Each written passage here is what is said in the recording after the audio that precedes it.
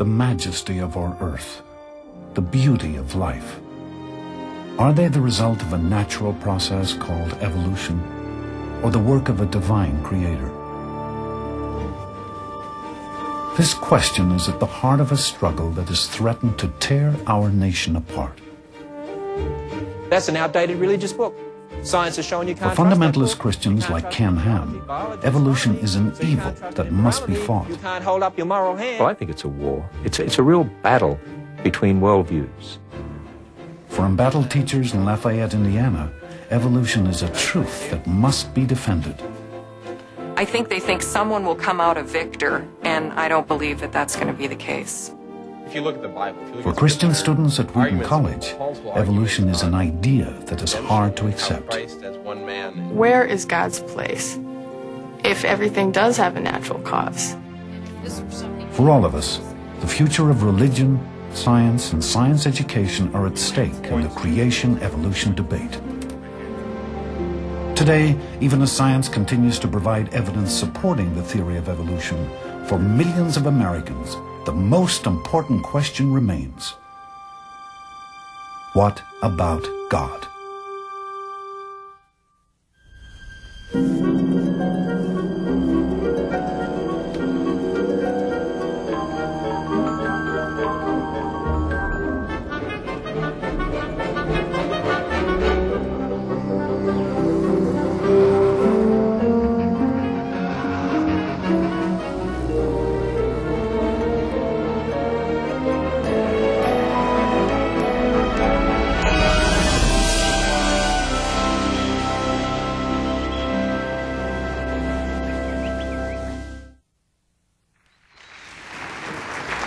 Well, good evening, everyone. Welcome to High Mill. Father, in the name of Jesus, we thank you for this ministry, for Ken Ham, and for the truth that he brings to Canton, Ohio, here tonight. In Jesus' name, amen. Would you like a brochure? Thank you. Oh, that sounds real good. Everybody, here we go.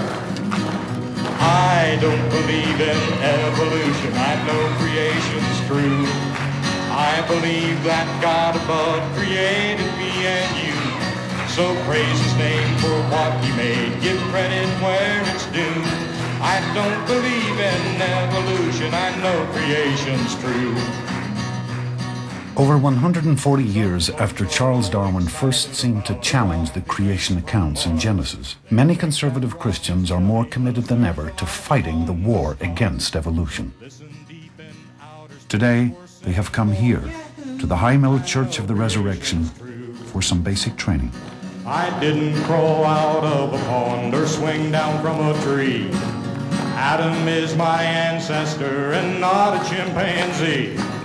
God created everything, in six days he was through. So the Big Bang Theory's just a dud, and a million years are too. If you look at what the Bible says, if we start with the revealed Word of God and we build our thinking on the Bible, it tells us about the history of the universe from beginning to end. It says that God made everything Today, biblical days. literalism has no more forceful an advocate than Ken Ham. Five to ten thousand people visit his website every day, and his 250 lectures each year reach over a million people, eager to hear his message that we need to look no further than the Bible to find the truth about who we are. I think it means Adam took fruit from the tree, you know. You see, people say you have a particular interpretation of Genesis. I don't think so. I think I just read it. and what it says is what it means. Other people interpret it and they get into trouble. That's a problem, I think. Now, I believe God created in six literal days, and I believe it's important. In fact, I believe it re relates to the authority of Scripture and the gospel.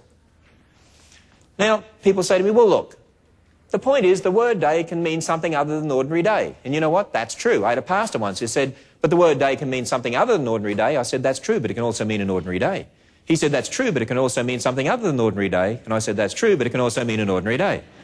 I said, look, Pastor, does the word day ever mean day? Can day mean day or doesn't day mean day? And if day does mean day, when does day mean day? Can you give me an example when day means day? The Bible says God created the earth covered with water, the sun, moon, and stars on day four. Well, that's very different to the Big Bang. If the Big Bang's true, well, the Bible got it wrong in astronomy. The Bible says there was a global flood. But uh, today we have a lot of people saying, no, there wasn't. Well, if the Bible gets it wrong in geology, and the Bible says God made distinct kinds of animals and plants to reproduce after their own kind, well, today evolutionists would say no, one kind of animal changed into another over millions of years, so the Bible gets it wrong in biology. Then why should I trust the Bible when it talks about morality and salvation? On this foundation here of, of creation, God's word is truth. You sinner, repent of your sin. People understand. Abortion's wrong. People understand. Homosexual behavior is wrong. People understand. But on this foundation, you sinner, what are you talking about? On this foundation of evolution, man determines truth. Homosexual behavior is wrong. No, it's not. Abortion's wrong. No, it's not. You see, what has happened is that this nation has changed foundation. And so have other nations around the world. Ken Ham is not the first defender of the faith who is challenging accepted views of science to justify a literal reading of Genesis. Back in 1925, William Jennings Bryan capped his long career as a crusader for Christian values by upholding the state of Tennessee's law banning the teaching of evolution at the famous Scopes monkey trial. Despite a scathing attack on his creationist views, Bryan prevailed. Scopes was fined $100 Within four years, 37 anti-evolution bills had been introduced in 20 states. It had a chilling effect on the teaching of evolution and the publishers of science textbooks. For decades, Darwin seemed to be locked out of America's public schools. But then, evolution received an unexpected boost from a very unlikely source, the Soviet Union. 1957, Americans were horrified to learn that their Cold War communist rivals had beaten the U.S. into outer space with the launch of the satellite called Sputnik. The space race was on. Scientific education became a national priority, and as long neglected science programs were revived in America's classrooms, evolution was too. Biblical literalists have been doing their best to discredit Darwin's theory ever since. I want to teach you something very special this morning. The next time somebody says millions of years ago, I want you to put your hand up and say, Excuse me, in a nice way. You say, Were you there? Can you remember that? Next time somebody says millions of years ago, what do you say?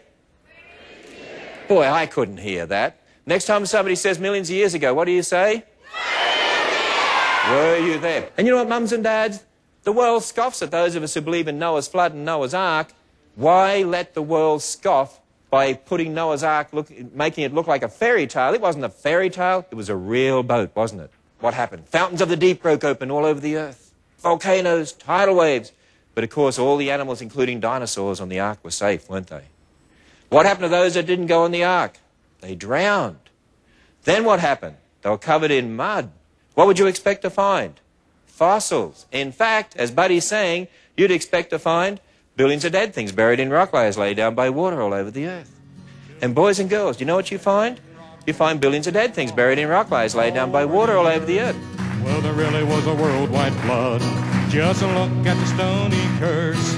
With billions of dead things buried in rock layers laid down by water all over the earth. Real good singing for the morning. Let's see if we can make the whole town hear it.